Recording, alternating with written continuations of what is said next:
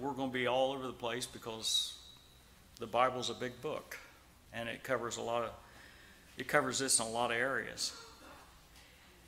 In Psalms chapter 82, verse 1, it says, God standeth in the congregation of the mighty, he judgeth among the gods.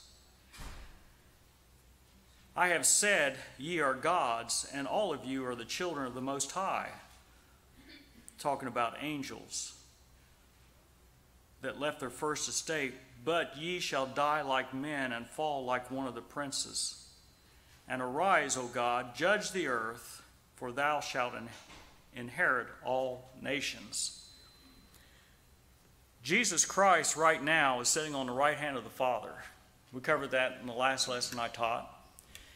He's prophet, priest, and right now he's our high priest, sitting on the right hand of the Father, reconciling sinners to Christ.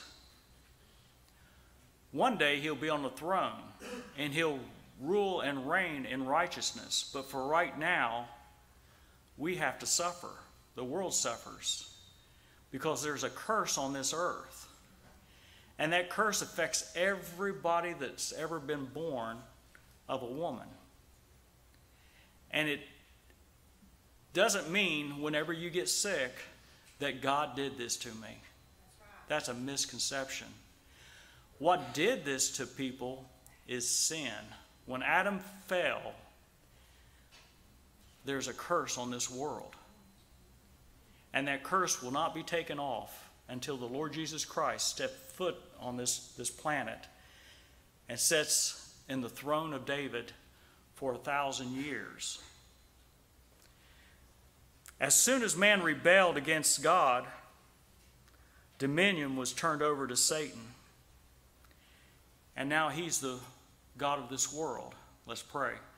Our dear precious Heavenly Father, Lord, I pray, fill me with your Holy Spirit. Lord, we're going to be attacking Satan this morning. And Lord, I need your help. I'm nothing without you, Lord. My voice is absolutely nothing without the Holy Spirit speaking through me. Lord, let your word Open up the ears and the eyes of the people that are sitting here and the people that are watching on the internet.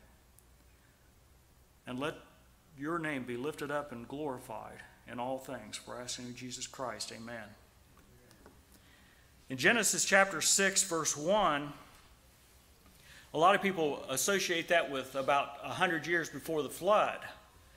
But if you read the passage, the first verse, it says, And it came to pass when men began to multiply on the face of the earth, and daughters were born unto them. That had to be at the beginning because you can't populate without women.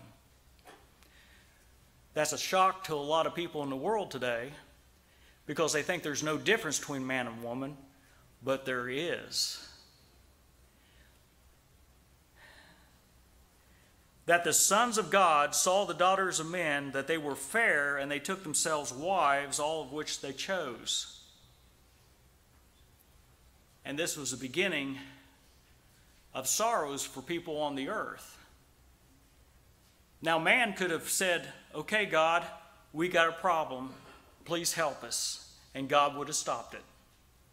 But man chose not to, to call out to God. They just let it take carry on, and all these creatures were born on the face of the earth, and they took over, and God had to destroy the the world with a flood, except for Noah and his three sons and their three daughter in laws and his wife. Eight souls on the, on the ark. The first time God mentions or talking to, to the nation of Israel, he gives them Ten Commandments.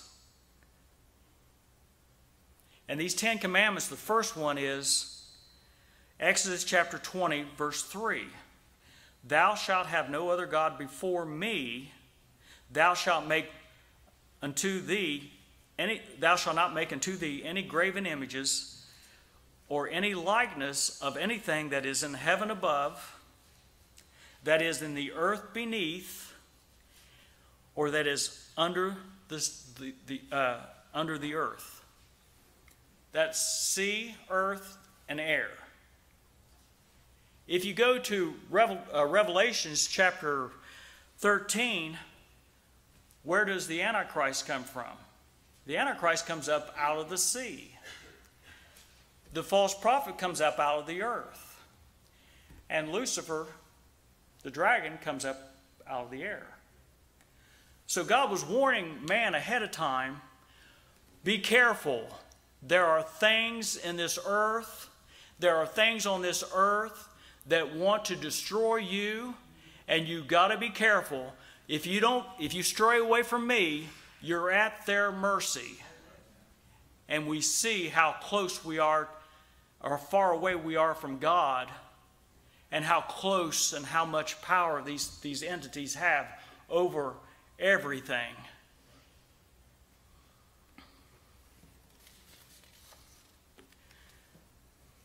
You say, well, I, I, thought God was the God of this world. He is. He's the God, He's supreme God. He's God sits on his throne.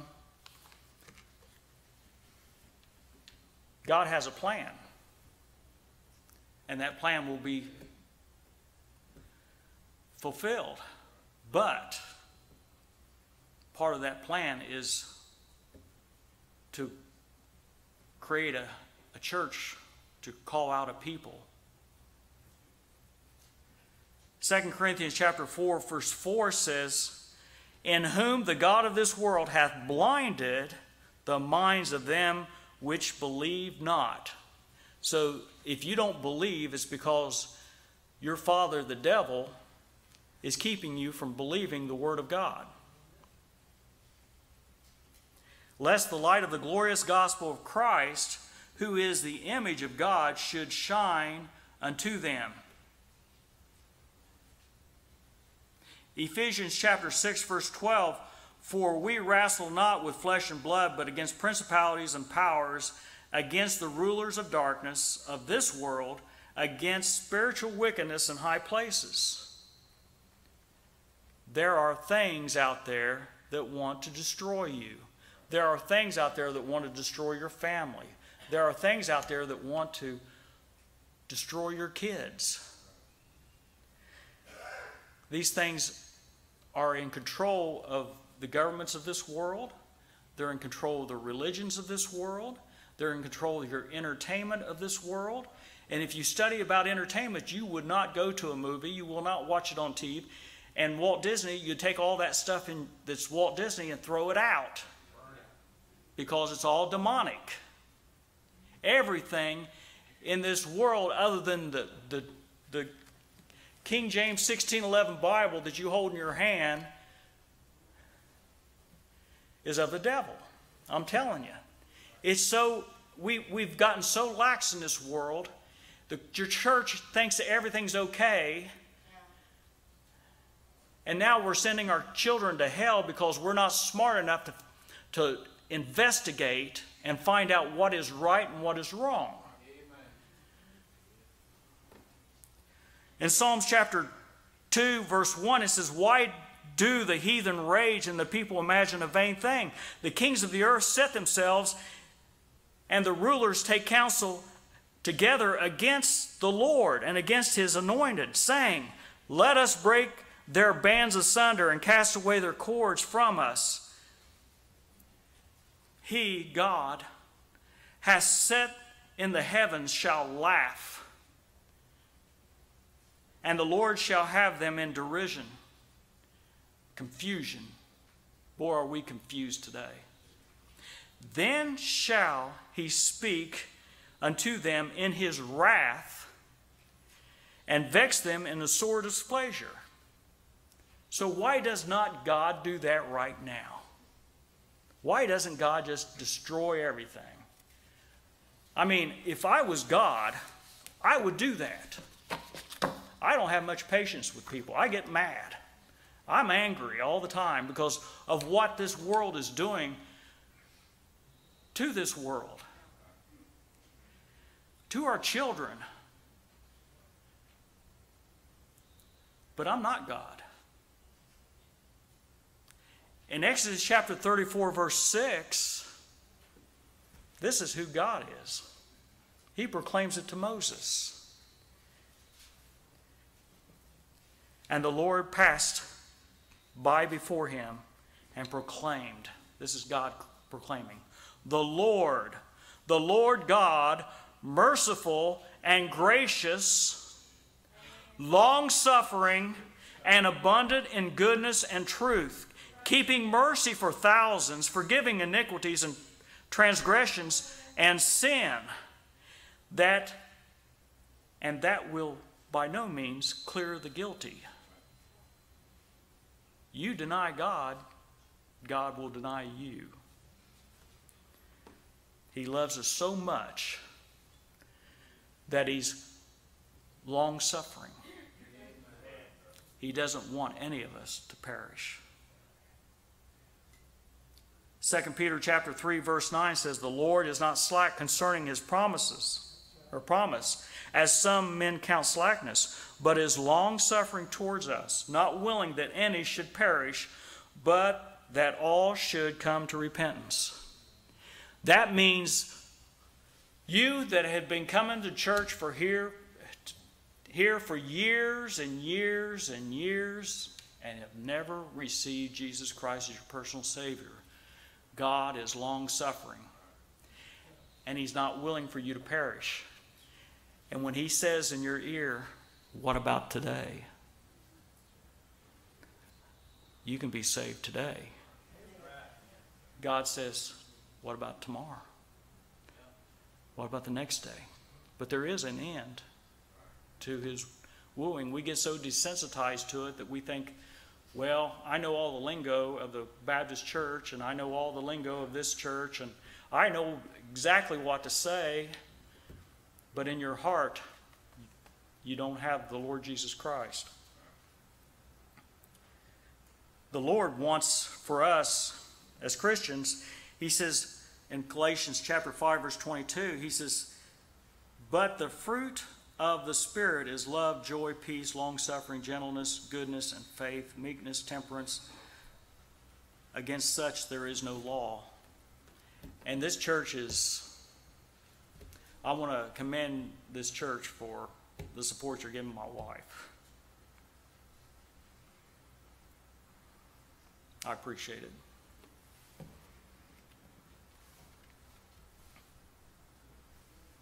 Ephesians chapter 6, verse 10 Finally, my brethren, be strong in the Lord and the power of his might. Put on the whole armor of God that you may be able to stand against the wiles of the devil. For while for we wrestle not against flesh and blood, but against principalities and powers, and against the rulers of darkness of this world, against the spiritual wickedness in high places. Therefore, take on the whole armor of God that you may be able to stand, withstand the while the evil day, and having done all to stand. And when you list these seven armors of God, the first one he says, Stand therefore. The first thing you have to learn in the Christian life is how to stand. When you're um, in the military, when you're in martial arts, when you're in boxing, whenever you're learning to fight, you have to learn how to stand. When you're shooting some weapons that are pretty good size, you have to learn how to stand or you're going to get knocked down.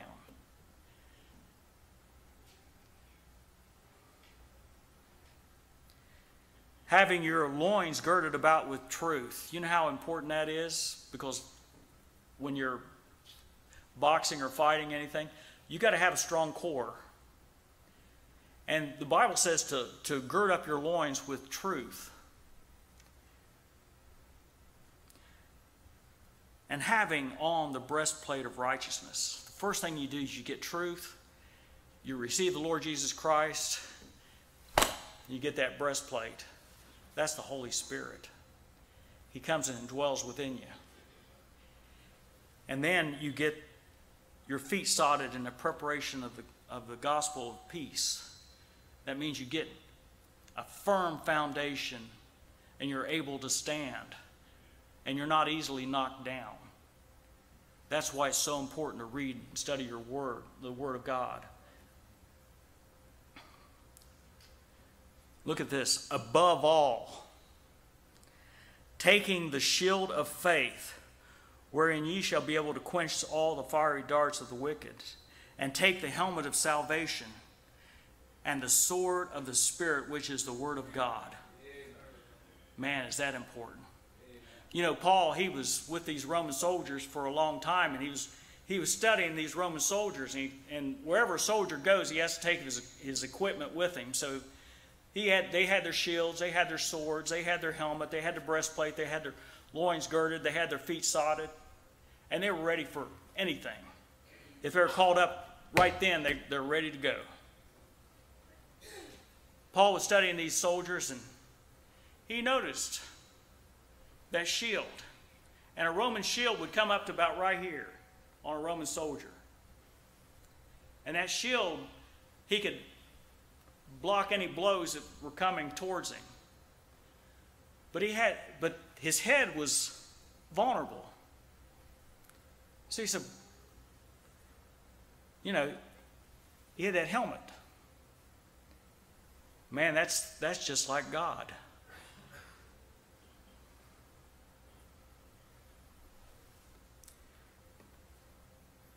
A lot of us don't have a shield. A lot of us don't have helmets. A lot of us never sodded our feet and we're vulnerable, vulnerable to the enemy. But with a sword and a helmet and the shields and the, and the breastplate, you got to have a weapon. These are offensive weapons or defensive weapons, but you have, an, have to have an offensive weapon. And the Romans were geniuses when it come to warfare. Their enemies all had these big old swords that they wielded around, you know, and hacked and chopped and everything. But the Roman soldiers, they had a short little sword about that long, about the size of a big bowie knife. And they would get up there and they would put that, they'd get in a line and they would go, they'd put that shield up and they'd take that, that little sword and they would, every time they'd take a step in battle, they would, whoo, whoo. And that was the most effective way of battling in that day. It was just like the atomic bomb is today. They couldn't defend against it. You had all these barbarians out there, just wild men, thinking, you know, good old boys out there with swords. But this was a disciplined army. They knew how to use their armor, they knew how to use their weapons, and they were effective. Every time we go to battle with the world, Let me tell you something. I respect these guys that get out there on the streets and preach. Let me tell you something. That is a hard thing to do.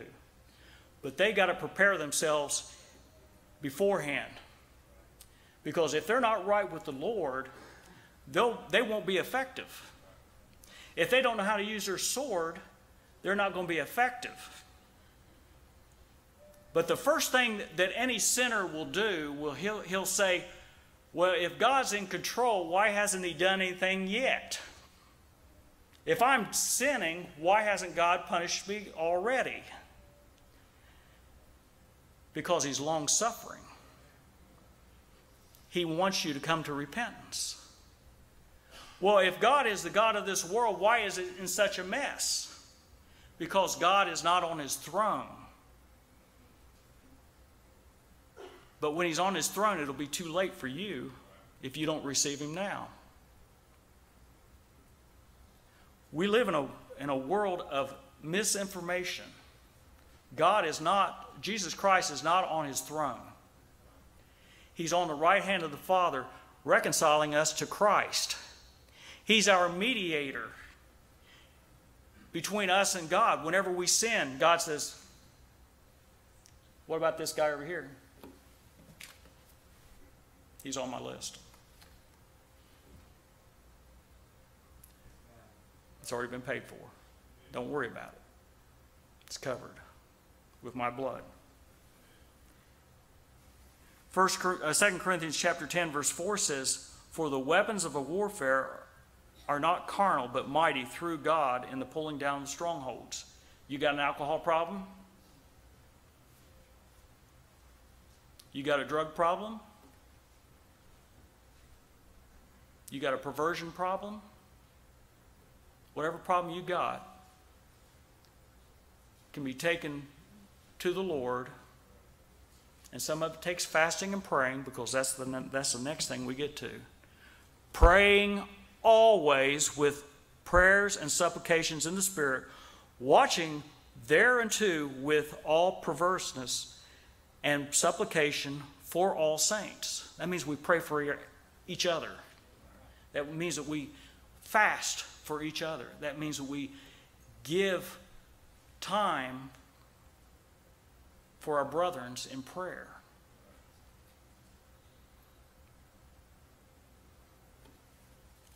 These enemies are strong, but God is stronger.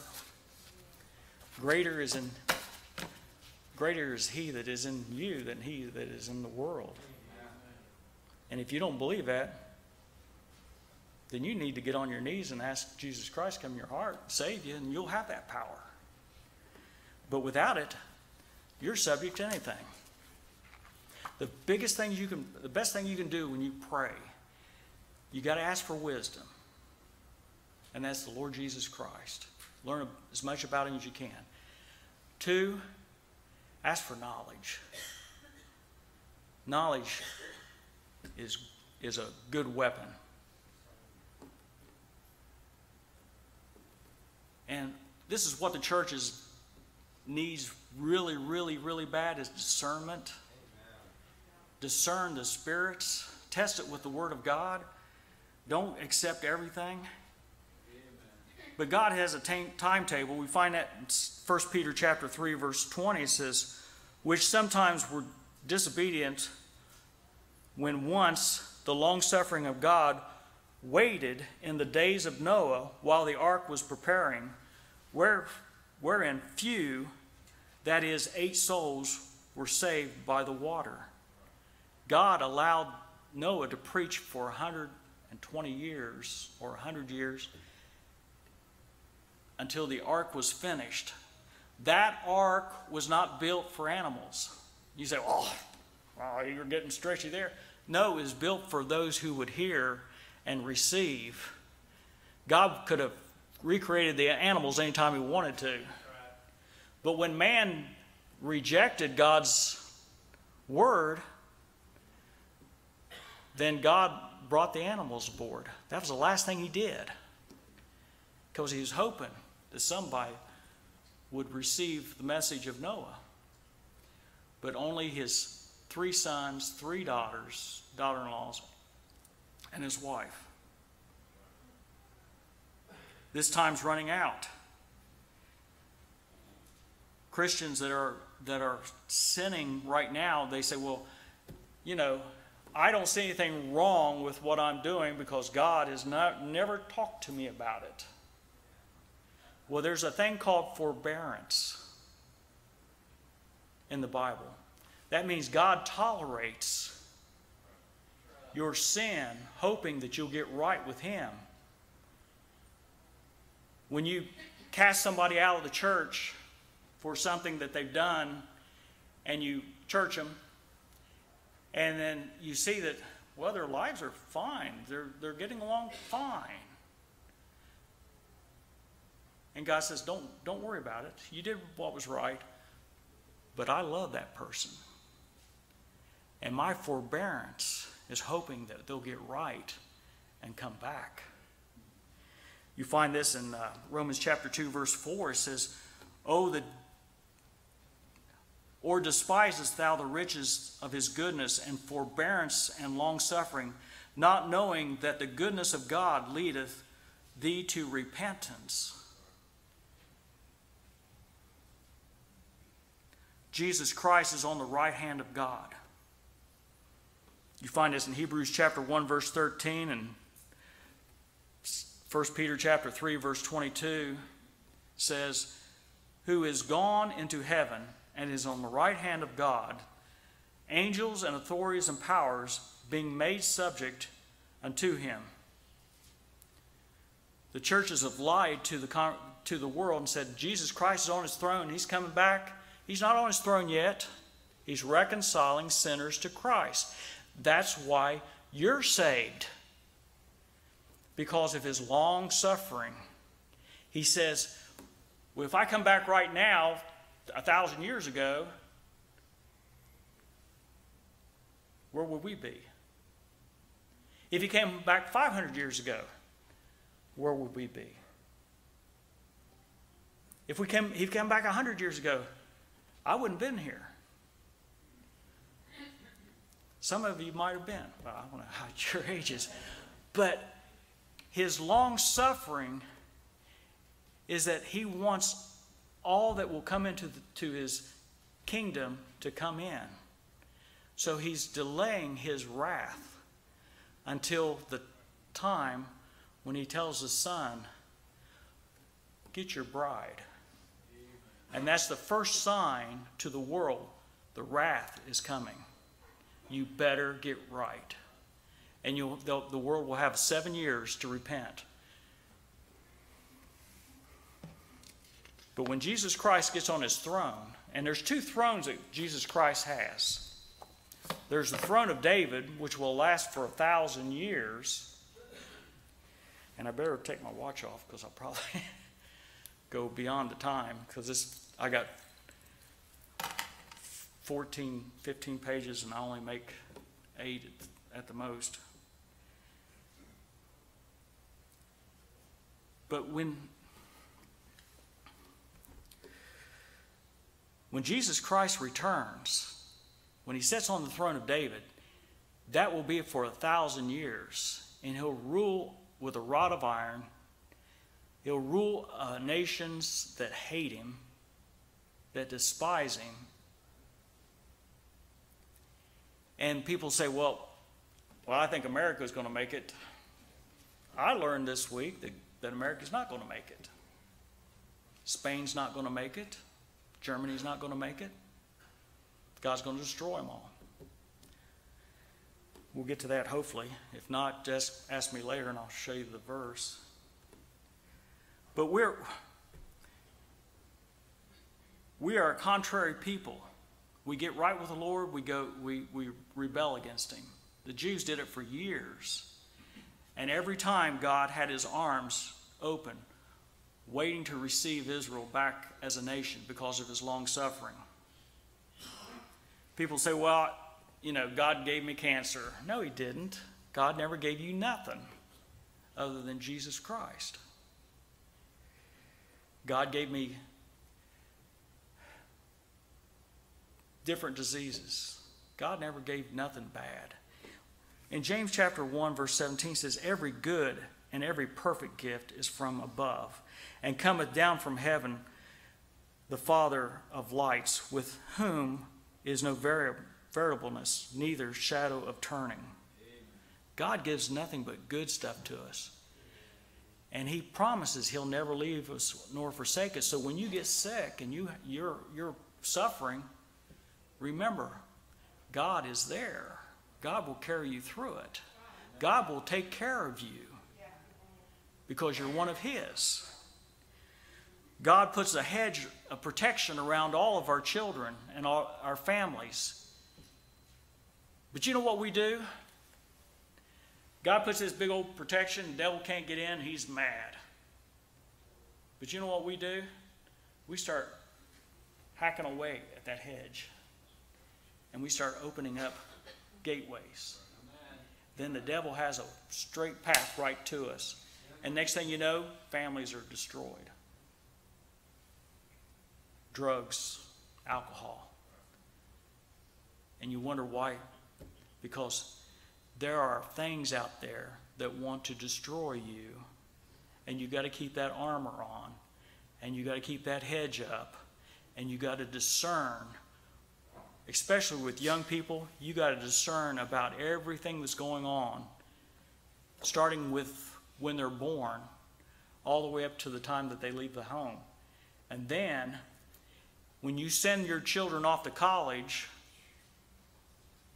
that's probably the worst thing you can do other than a Christian college because when that child gets into these colleges, these professors who are controlled by these principalities and powers and entities are going to convince your kids that God doesn't exist and it's all a lie. And, and these kids are so naive They're paying thousands of dollars out to be educated, and they're being educated out of believing in God.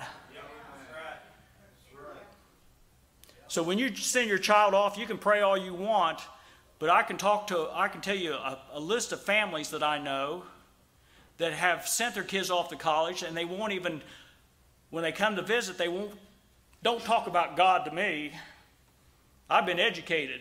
I don't believe in that foolishness no more. These principalities and powers are strong. They're powerful. And most church, most families do not teach their kids how to, to, to uh, defend against these things. I believe, personally, that whenever our pastor's up here teaching about things that's going on in this world, you should have your kids in here listening to this stuff. Because they're not going to get it in Sunday school. We need to be educated about these principalities and powers that are trying to destroy us. In Daniel chapter 10, Daniel's given a, uh, a vision. And Daniel says, Lord, I, I want, he prays and asks the Lord to give him the interpretation of this vision. And Daniel's, Daniel doesn't get anything and he's fasting. He fasts for 21 days and he goes, Whew, you know, I'm hungry. I'm getting weak. Lord, help me. Answer my prayers. But look what he says in chapter, uh, verse 12. He says, when the, when, the, when the angel finally comes, he says, Then said he unto me, Fear not, Daniel, for from the first day that thou didst set thine heart to understand and to chasten thyself before thy God, Thy words were heard, and I am come for thy words. We want an immediate answer to everything. We are instantaneous society. We don't believe in waiting for anything. But the prince, verse 13 says, But the prince of the kingdom of Persia withstood me one and twenty days. But lo, Michael, one of the chief princes came to help me, and I remained there with the king of Persia. And now I am come to make thine understanding, thy, thee understand what shall befall thy people in the latter days. And then in verse 20, it talks about the prince of Grecia shall come.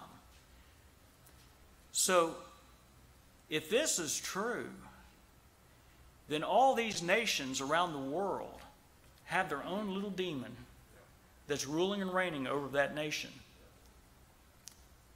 But if my people who are called by my name will humble themselves,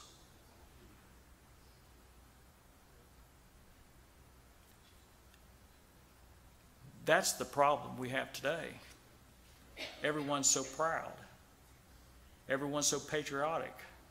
Everyone's this and that. When people going to get serious about God?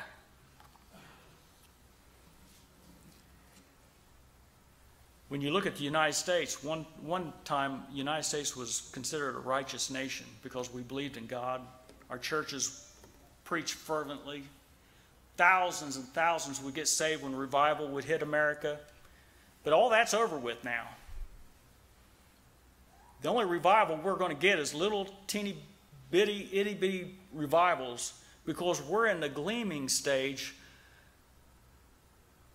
right before the Lord Jesus Christ comes back. You know, I was studying my Bible, you know, and I was looking at the new, these other translations, and something hit me. It said, you know, society, when the King James Bible was written, it was in King's English. It was considered perfect Shakespearean English. Way up here. And then as society started declining, they said, well, we need to rewrite that Bible so that the depraved can understand it.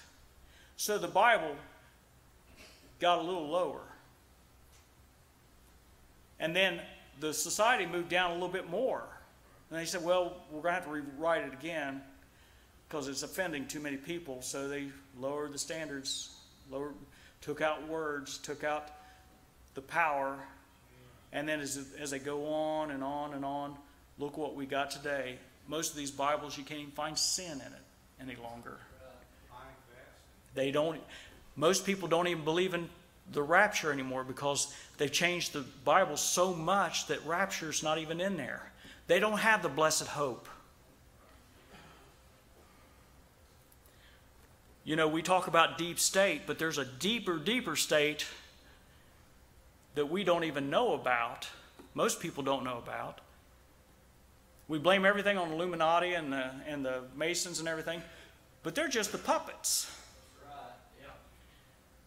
The real people in control, you wouldn't even allow in your house. You'd be scared to death of. They want to see you dead. They're your enemy. That's who's running the world today. Look at China. You know, there's so many leaders out there wanting worship. The Emperor of China wants worship. The uh, President of Turkey wants worship. The, the uh, Syrian government wants worship. EU wants to eradicate Christianity completely. The, everybody's wanting worship. They don't want you to worship the King of Kings and Lord of Lords. They want you to uh, worship Lucifer. The other day, the, the Pope was in Poland and he says, he, uh, he addressed himself as, I am Lucifer. And he started laughing it off, but he was serious. That's where we've come to. All these entities are not afraid of being identified anymore because the people have been dumbed down and stupid and delusional. They don't know nothing anymore.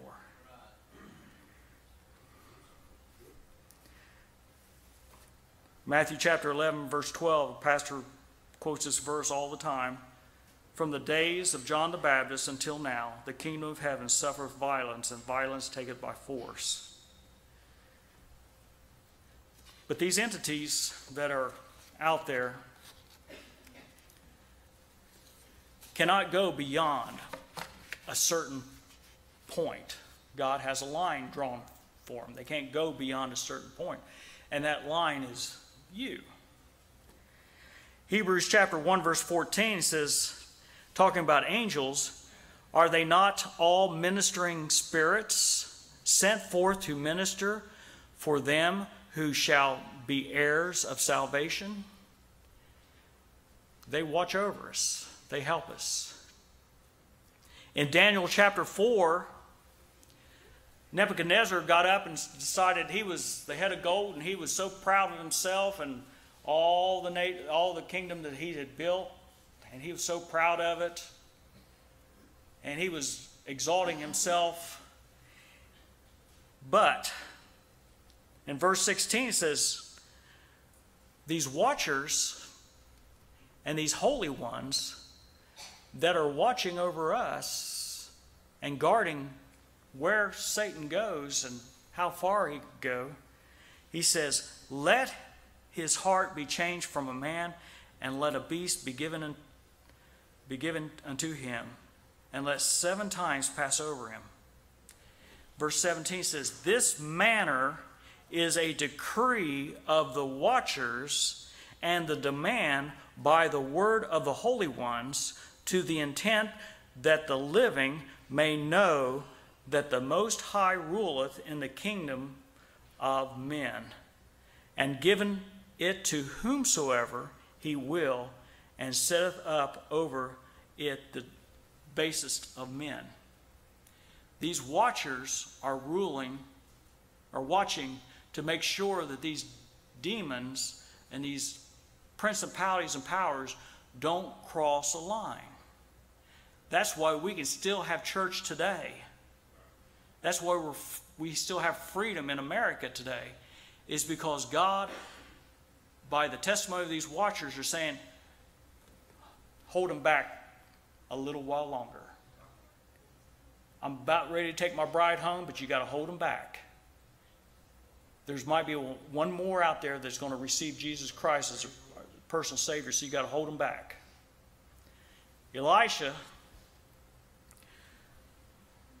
had an army, a massive army surround his house.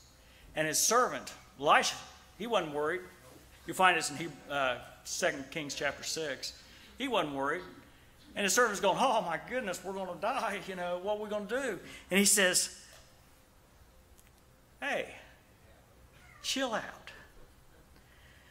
Therefore sent he hither horses and chariots and a great host, and they came by night and compassed the city about. Verse 16 His servant wasn't too happy, and he answered, Fear not, for they that be with us are more than they that be with them. And you know, you look at this, and of course in 17 it says, The Lord opened his eyes of the young man, and he saw, and behold, the mountains were full of horses and chariots of fire round about Elisha. Whenever you study about the Israeli wars from 1948, 1967, 1973, Yom Kippur War, they all have something in common. Whenever they captured large amounts of Arabs. The Arabs were running for their lives. They were scared to death. They were in a panic. Some of them would run so fast that they'd run out of their shoes and they jumped out of their tanks and they left their artillery and they, they just hightailed it. And they were so thirsty and hungry and stuff that it, uh, two lonely Israeli soldiers captured about 3,000 Arabs, e- Egyptians. And they started questioning these men about why you were in such a panic. You were winning. And they said the same thing that's in the book of Elijah.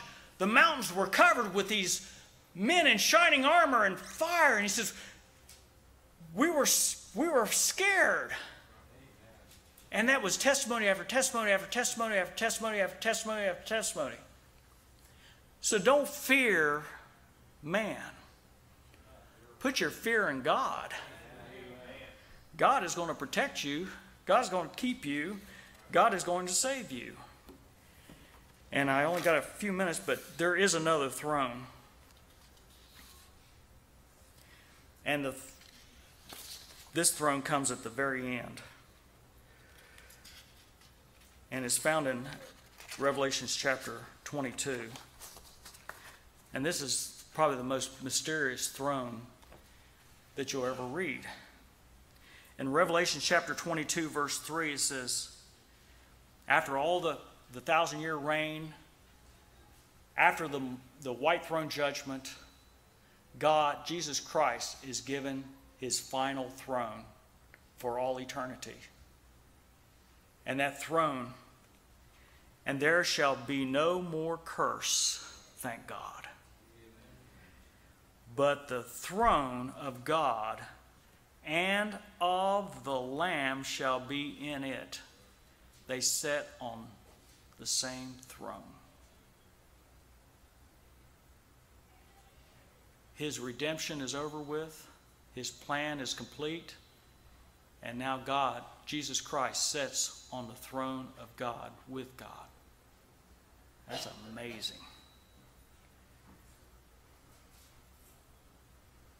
Jesus Christ was taken to a high mountain by Lucifer during the in the wilderness.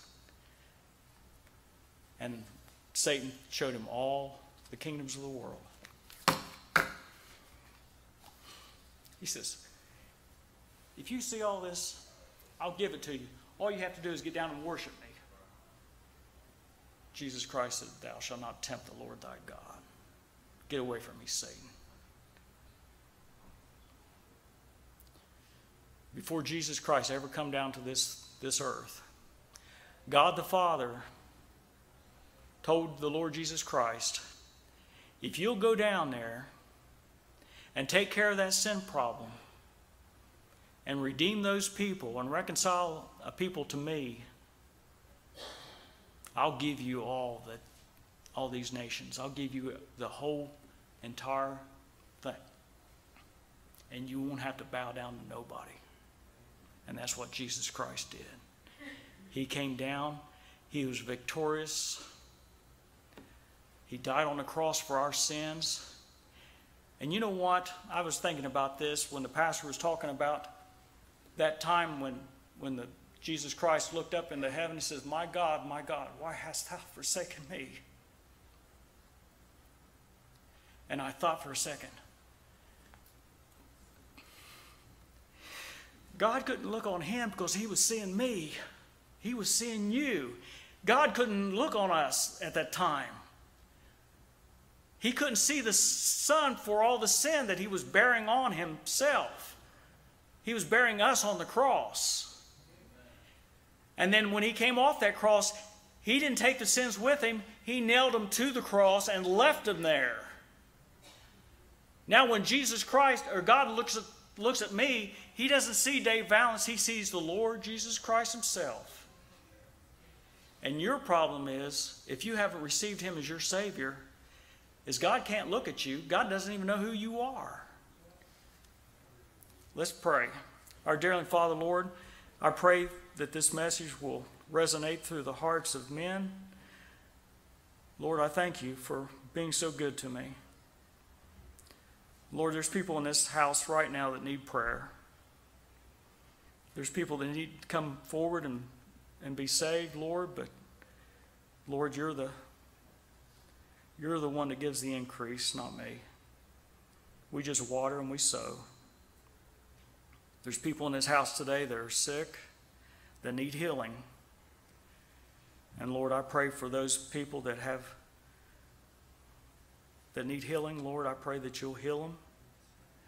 And I pray, Lord, that you'll your name, your word, you'll get all the glory not anyone in this house. Lord, guard our service. Give our pastor liberty as he preaches. Let the Holy Spirit have dominion in this place. Let our ears be open and our eyes be open, and let us receive what you have for us, Lord, and apply it to our hearts. Thank you, Lord, for loving us enough to die for us. Thank you for that blessed hope that we have that you're coming back for us soon. For we ask in the name of the precious name of the Lord Jesus Christ. Amen.